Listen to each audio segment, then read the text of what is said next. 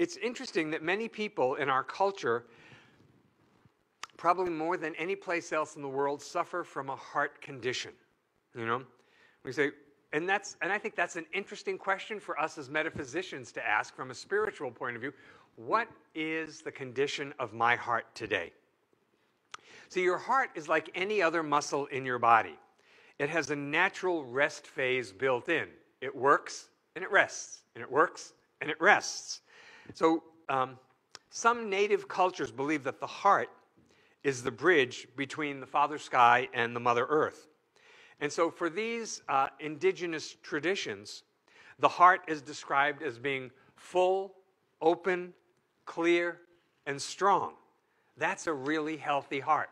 A heart that's full, open, clear, and strong. So, if we're not full hearted, we approach people in life in a half hearted way. So, that's not hard to imagine. We have all perhaps done that at some time. You know, well, I should do this, but oh, I just don't want to. When we're having that kind of a little conversation in our head, it's half hearted. Well, I've got to go meet somebody, but I don't really want to do that. Half hearted.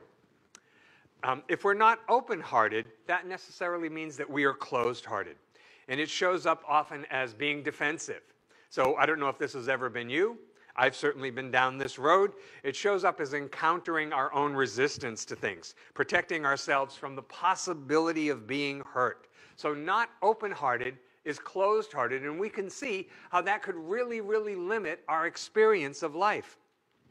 Now, not clear hearted would mean that we have doubt, that we have just really moved in with our doubt, that we need to wait for clarity you know, we're, we're not able to take action right now because we're not clear hearted.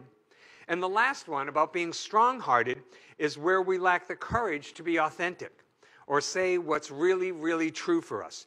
Strong hearted is the courage to be all of who we are in this life.